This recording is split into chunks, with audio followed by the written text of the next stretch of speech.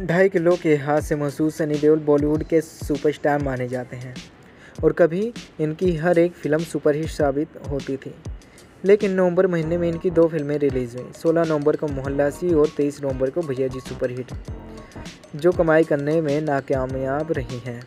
और सिनेमा घरों में औंधे मुँह गिर पड़ी हैं। पहले हम बात करते हैं मोहल्लासी फ़िल्म के बारे में। इस फ़िल्म को साल 2016 में ही तैयार किया गया था, लेकिन विवादों में फंसने की वजह से 16 नवंबर को सिनेमाघरों में रिलीज़ किया गया इस फ़िल्म को। ऑनलाइन लीक होने की वजह से फ़िल्म को ऑडियंस का बहुत ही कम रिस्पांस मिला और ये साल 2018 की सुपर फ्लॉप फ़िल्मों में नंबर वन पर आ गई है। दूसरी फ़िल्म है भैया जी सुपरहिट।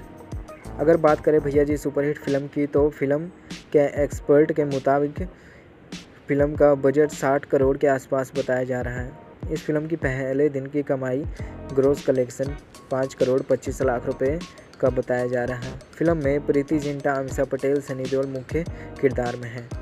इसमें सनी पाजी एक डॉन का किरदार निभा रहे हैं, जो बॉलीवुड एक्टर बनना चाहता है। फ़िल्म में कॉमेडी देखने को मिल रहा है।